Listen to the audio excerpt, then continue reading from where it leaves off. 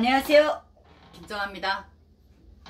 네 오늘도 영상 시청해 주셔서 감사합니다. 영상 보시고 구독 좋아요 꼭 눌러 주시길 부탁드리겠습니다.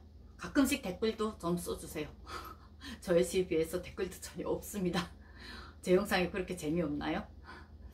아, 오늘은 지난번에 제가 지난주에 제가 영상 올렸죠? 경수로의 비밀. 네 오늘은 그 경수로 지난 시간 같은 경우에는 경수로의 위치를 정확히 보여주면서 경수로 안에 어떠한 지형 군사 비밀이 있다는 걸 제가 말씀드렸습니다.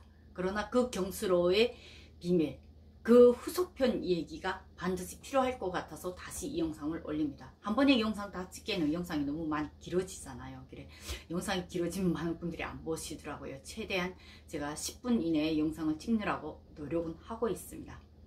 오늘 후속 이야기에서는 어, 경수로에 참가했던 한국 분들이 있잖아요.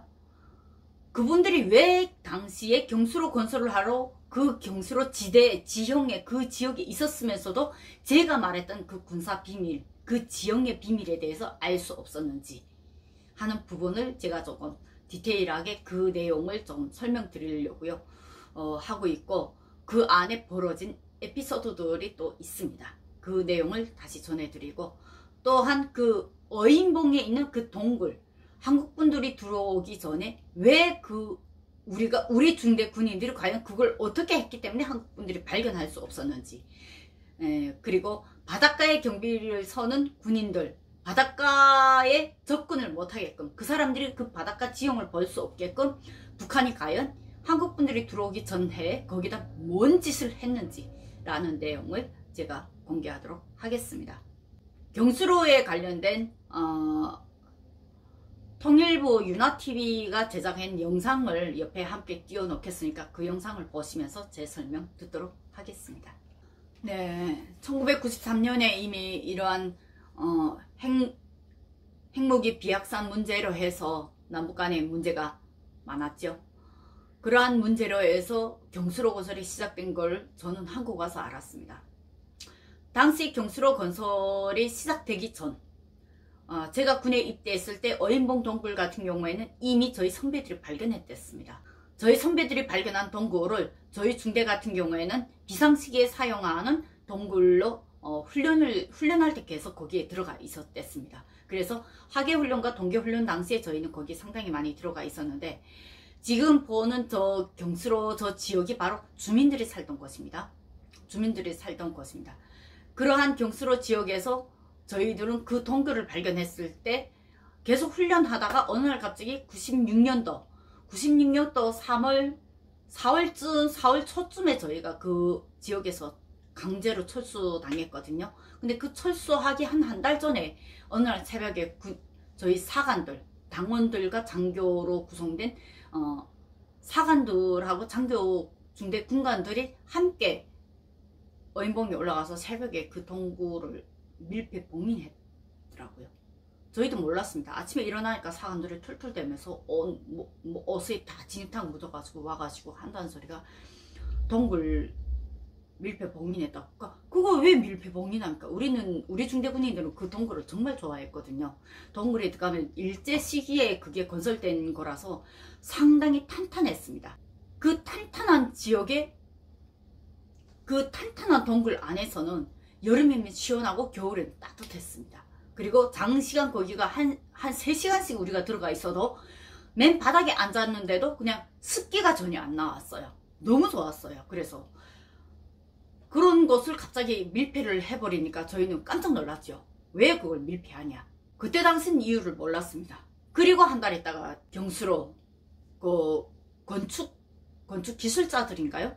건축 기술자들이 들어왔습니다. 당시 12명이 저희 중대 명단이 딱 들어왔는데 어, 검은은 미국 그리고 기술자 2명은 일본이 그리고 나머지 9명이 어, 남조선 사람들이다. 이렇게 명단이 들어왔는데 그때 당시 그 명단을 놓고 저희 중대장이 저희 중대 앞에서 한 소리가 있습니다. 뭐라고 했냐면 미제놈들의 노예인 남조선 놈들은 그냥 일꾼으로 들어오고 일제 쪽발이 교활한 놈들은 기술자로 들어오고 검은 총통 치는 미국 놈들이 들어왔다.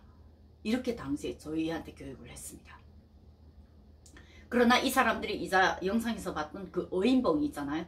어인봉에서 측량 기계를 놓고 어, 측량을 저희 중대가 딱 있는 위치가 바로 그 경수로 건설이 예, 지역으로 되어 있는 그 위치이기 때문에 그때 당시에 이 사람들이 측량을 채점을 하려고 거기다 측량 기계를 놓고 이렇게 찍는데 저희는 측량 기계를 처음 봤잖아요. 저놈들이 측량을 한답시고 여자 중대인 저희 중대를 감시를 하고 있다. 저희 사관장이 식사 대회 시간에 그렇게 말했습니다. 그래 열받아가지고 나쁜 냄새 이러면서 돌아서 소리를 질렀어요. 그래서 점심시간에 사관장이 중대 뒤로 돌아서 뒤로 탁 돌리고 그 측량을 하는 사람들한테 저놈들을 응징하자라고 소통을 쳤습니다. 병사 때니까 전사 때니까 N 뒤쪽에 있잖아요. 그러니까 전사들 뒤에 한 석줄이 그때 달려나가서 돌멩이를 집어서 그쪽으로 막 집어 던졌어요. 측량, 측량을 하는 사람들한테. 근데 측량을 하는 분들은 어인봉 산 중턱에 있고 저희 중대는 그 바닥에 아래 한참 아래에 있기 때문에 그게 뿌리는 돌이 거기까지는 가진 않습니다. 그런데 그때 당시 그분들은 상당히 충격을 받았더라고요. 그래서 막 급하게 청량기를 막 넘어뜨리면서 청량기를 막 주워가지고 정신없이 달아서 내, 아, 피해서 가는 걸 저희가 그때 당시 봤거든요. 근데 문제는 이 사건이 결, 결정적으로 이 사건이 있은 이후에 3일인가 일주일인가 안 돼서 저희 중대가 갑자기 새벽 3시에 중대 폭풍 기상 시켜가지고 그 자리에서 짐 싸가지고 제대로 짐도 다 못 챙기고 그 자리에서 중대를 그 새벽 5시에 철수를 시켰습니다. 그렇게 돼서 저희 중대가 거기서 나오게 됐습니다. 이 유나TV 영상에 보게 되면 어, 북한 여성이 이 지역을 지나가던 북한 여성이 덤프트럭을 길 가는 차를 세워놓고 잠깐 차에 올라탔다가 아 한국 차인 줄 알고 나중에 급하게 내려가시고 바로 신고를 했다고 하는 그 에피소드가 있습니다. 북한 여성을 그리고선 북한 여성을 납치하려고 했다. 자기를 납치하려고 했다. 이렇게 거짓 신고를 했는데 북한 주민들 입장에선 저래야 자기가 살거든요. 그런데 에피소드가 이 경, 경수로의 에피소드가 그것뿐이었을까요? 당시에 제가 군사대학을 졸업하고 97년도에 여기를 상당히 많이 지나다녔습니다. 청진이고 함흥에 점에 당시 7군단 소속으로 저희가 미배치 기간이었을 때 제가 청진이로 계속 드나드느라고 이 경수로 강산리역, 석구역 여기를 지나다닐 수밖에 없습니다. 근데 신포역 지날 때부터 이미 어, 북한의 열차라는 게 고난의 행군 당시에 상당히 많이 전기가 없습니다. 전기가 없다는 기차가 가다가 상당히 많이 지연되고 열차 상태가 엉망이었습니다. 사람이 끔찍이 많았습니다. 열차 빵통까지.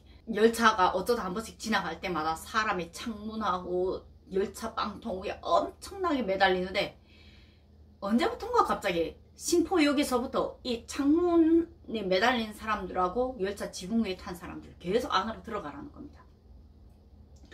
그리고 양화역에서는 완전히 사람들을 이런 몽둥이를 때리, 때리면서 들여보냅니다. 보안원들하고 보이지원들이. 왜 이게 갑자기 이렇게 됐나 해서 제가 그때 당시 열차 타고 가면서 주민들한테 물어봤거든요. 그랬더니 주민들이 어, 그때 당시에 남조선 사람들이 우리 기차를 보고 저 기차가 왜 저러냐고 왜 사람들이 저렇게 매달리냐고 물어봐서 우리 저 뭐야 북한 여원들이 거기 통역을 하는 안내자들이 잠깐 머리를 써가지고 영화를 찍는다고 어, 일제시기 당시에 조해방 당시에 그런 영화를 찍는 거라고 그렇게 말을 돌렸다고 그때 당시에 제가 여차관에서 들은 에피소드였습니다. 그래서 그때부터 그러한 걸 보이지 않게 한 번을 지나가는 건 보여줬지만 그 다음부터 이게 계속 반복이 되면 계속 영화를 찍는다고 말할 수는 없잖아요. 그러니까 지붕 위에 탄 사람들, 열차 그 계단에 탄 사람들, 열차 빵통 창문에 매달려 탄 사람들, 이 사람들을 싹 다 밀어놓고 그 길을 빌방막으로 딱 치게 했습니다. 그래서 보지 말라고. 빌방막으로 치라 했는데 빌방막이 다 있나요? 그러니까 어떤 사람들은 막 수건으로 가리고 이러니까 수건 가는 것도 다 치우라. 담요로 가는 것도 다 치우라. 그냥 딱 빌방막으로 가리라고. 유리가 없으면 빌방막으로 가리라고. 그래 그때 당시 특히 무산행 어, 청진 평양, 어, 평양 두만강, 평양 무산, 그리고 어, 평양 청진 이 기차들만큼은 그 유리를 그때 급하게 다 끼운다고 당시 얘기 들었거든요. 경수로 건설이 끝난 이후에는 다시 도루매기가 됐습니다. 그러나 그때 당시 경수로 건설이 진행될 시만큼은 그 구간이 그렇게 상당히 힘들었댔습니다. 어, 열차에 탄 북한 주민들을 보고 어, 저 사람들이 왜 저러냐 라고 물어보니까 영화를 찍는다 라고 말했던 안내원의 순발력 대단하죠. 그때 당시 우리도 기차카 안에서 그 얘기를 듣고 상당히 많이 웃었댔습니다. 지난번에 제가 군사 기밀 공개를 하는 영상에서 제가 말했죠. 바닷가가 군함이 들어올 수 있는 위치다고. 그런데 그걸 왜 이 사람들이 몰랐을까요? 왜 경수로 건설을 하러 들어갔던 한국분들은 왜 이걸 몰랐을까요? 제가 한국 와서 이 군사 기밀에 대해서 국정원에 진술을 하니까 국정원이 거짓말이라고 하는 거예요. 그래서 왜 거짓말이라고 하냐 이랬더니 자기는 거기 갔을 때 못 봤다는 거예요. 절대로 있을 리가 없다는 거예요. 거기 측량을 다 했다고 하더라고요. 그래서 어떻게 동굴을 첫째로 동굴의 위치를 이 사람들이 못 믿더라고요. 국정원에 와서 제가 제일 처음 증언했을 때 그래서 아니 그 우리 중대가 당신들 들어오기 전에 그거 밀폐 봉인 해버렸으니까 모르지 그 밀폐 봉인을 어떻게 했냐 물어보더라. 밀폐 봉인을 당시 저희 사관들이 얘기하기로는 어 그 두꺼운 철문인데 철문을 닫고 그 위에를 완전히 어 돌을 쌓아서 벽돌을 쌓아서 흙으로 진흙으로 완전히 미장을 해버리고 그 위에다 잔디까지 다 입혔습니다. 그럼 그걸 누가 찾아요? 못 찾죠. 그래서 우리는 그렇게 했다. 그랬더니 아 그걸 왜密閉했냐고 이러더라. 음, 우린 모른다 이랬더니.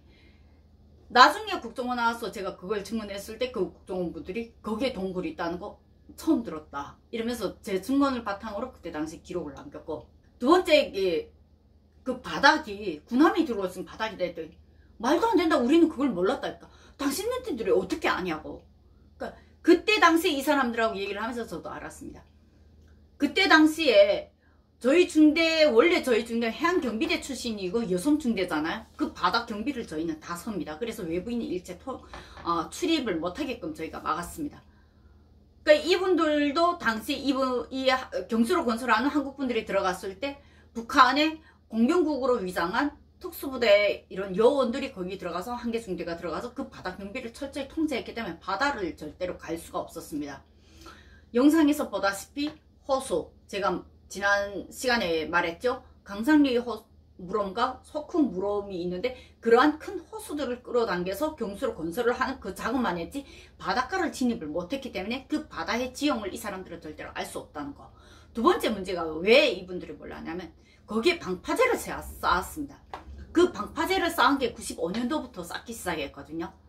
어느 날 갑자기 그 방파제를 상당히 높이 쌓았는데 그 방파제를 쌓을 싸울 때 누가 동원됐냐면 함경남도 많은 주민들이 동원됐습니다. 그래서 실제 함흥시의 방직 공장이라든가 함흥시 안에 뭐 기계 공장, 그러니까 벨 공장 함흥시 사람들이 상당히 그때 많이 왔댔어요. 그래서 그때 당시 함흥시 사람들이 이 방파제를 거짓 모래침을 들어 나르면서 단기간에 석금으로부터 강산리 저 뭐야 독립서대에 있는 그 위치까지만 방파제를 엄청나게 쌓았습니다. 그래서 왜 저희 지역만 방파제를 쌓는지 저희는 그때 몰랐습니다. 나중에 보니까 경수로 건설 때문에 이 방파제를 쌓았더라고요. 경수로 건설에 동원된 사람들이 그 바다의 지형을 못 보게 하기 위해서. 경수로 건설에 대한 이 경수로 지역에 대한 뒷이야기는 오늘은 여기까지입니다. 재밌게 들으셨나요? 북한이 함께 건설을 한다고 해도 북한이 작정하고 응패를 하면 결국 이용당합니다. 당시 여기에도 우리 대한민국 예산이 상당히 많이 들어간 걸로 제가 알고 있습니다. 결과는 뭐였나요? 지금 그때 당시 경수로 건설을 짓기 위해서 지었던 병동들 이런 병동들을 북한이 지금 어, 군부대 병동으로 지금 활용하고 있는, 있는 것으로 지금 현재 구글에서도 나오고 있지 않습니까? 그러한 부분을 봤을 때 과연 남북한의 문제에서 우리가 함께 무언가 할 수 있을까? 그런 부분에 저는 상당히 많이 우려스럽습니다. 오늘 방송은 여기까지 마치도록 하겠습니다. 감사합니다.